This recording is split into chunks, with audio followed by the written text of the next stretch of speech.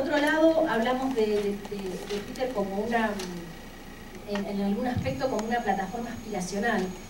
Si, vemos si la característica diferencial que tiene como sería en, Facebook, desde el punto de vista de las conexiones, eh, vemos que nosotros podemos seguir, pero no necesariamente ser seguidos.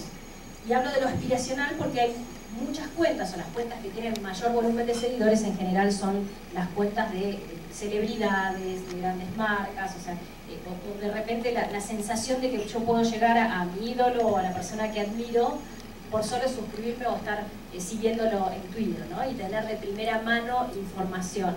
Bueno, pasa también con el tema de los, políticos, donde muchas veces las, celebridades salen a... Em, a, digamos, a, comentar cosas sobre lo que, digamos, eh, novedades o noticias sobre ellos, eh, primero en Twitter, ¿no? Uno se, entera quién se separó, quién se divorció, eh, también por, por Twitter. bueno, como que va teniendo usos bastante diversos. en Argentina, por ejemplo, el año pasado se dio, el, bueno, ya en el último año un poco más, el fenómeno de las, las estrellas, pseudoestrellas, eh, que, bueno, que empiezan a, ventilar todas sus, cuestiones en Twitter. No sé si conocen el caso de Zaira Nara, que salía con, un futbolista uruguayo conocido. Bueno, y, empezó como a ventilar su, su, intimidad o hacía comentarios, entonces la gente suponía, bueno, y se salían los medios.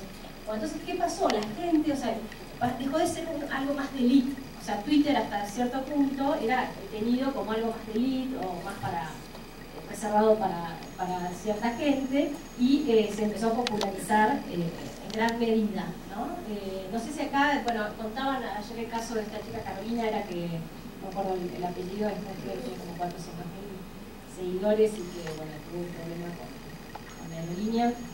Bueno, la, la, gente le encanta escuchar esas cosas, por ahí son cosas banales o del día a día, pero sentir o tener esa sensación de proximidad con alguien que admira o alguien que es famoso y bueno, Em, bueno, por otro lado hablamos de esto del tiempo, el, real time o el tiempo real, que es un factor también súper interesante.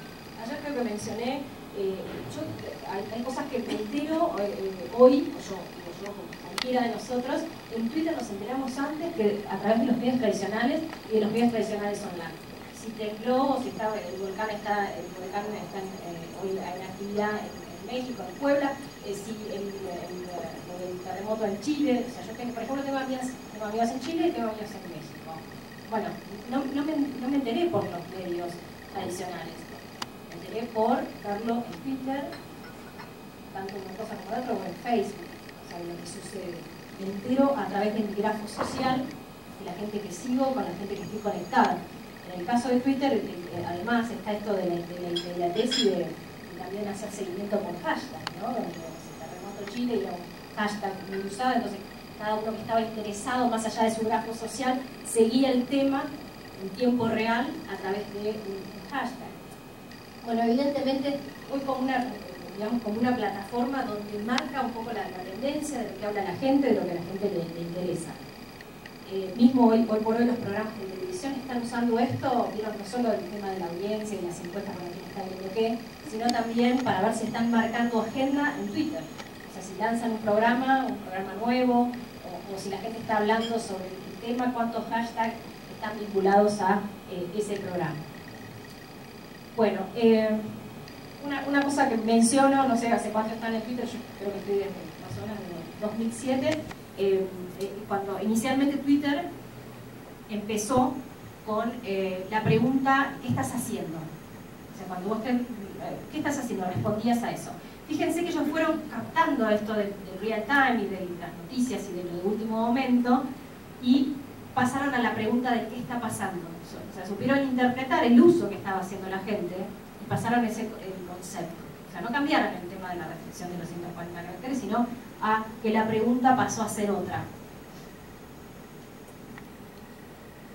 ¿Se acuerdan que ayer hablábamos de innovación y cómo hay que estar atento a lo que, el uso que le da la gente? Bueno, eso es una una cosa muy sencilla, muy simple de hacer y que está orientada a entender la, interacción del usuario, hacia dónde va el usuario y alinearnos con eso. Bien. Cuenta en Twitter. básicamente una de las cosas más importantes y básicas, pero eh, también hay que recalcarlo, hoy, eh, hoy uno crea una cuenta, tanto perfil de, empresa o de persona, y las características son iguales. Si bien ahora están las branded pages, son un poco más restrictivas por lo que salen, y bueno, después vamos a ver algún ejemplo. hoy podemos como empresa, y no, es que vamos a hacer como en el caso de Facebook, donde Facebook dice no claramente, si usted es una empresa, tiene que hacer una página de empresa y un perfil de amigo. Entonces, cuando creamos una cuenta, la creamos igual como si crea, para empresa, como si creáramos un perfil de, persona, para persona. Eh, la customización es bastante, bastante básica, podemos customizar un fondo, poner un avatar, acá de nuevo lo del tema del loguito y el cuadradito, que es, importante tener nuestro logo eh, bueno, y obviamente tenemos que tener una descripción del, perfil lo suficientemente sintética como para, también hay una restricción, más de 140 caracteres, no sé si de 180 o algo así, para la, descripción en el perfil, o que tengo igual ilimitado, para entender lo, que nosotros hacemos. En el caso de, Twitter, eh, también tenemos la posibilidad de hacer un perfil público y privado. En el caso, obviamente, de una empresa no tiene sentido crear un perfil el privado, salvo que, no sé, hagamos algo para uso interno y que solo aceptemos gente con grupo, pero la verdad que no tiene sentido. En el contexto corporativo se supone que la, cuenta va a ser eh, pública. Bueno, una cosa importante acá que dice cuenta de email. Parece un punto más, pero no es así. Cuando creamos en Twitter una cuenta, cada cuenta nueva tenemos que tener una dirección de correo diferente. En este caso hay que pensar bien qué cuenta de correo vamos a utilizar porque también la manera de ser encontrados puede ser a través de, nuestra, de nuestro correo.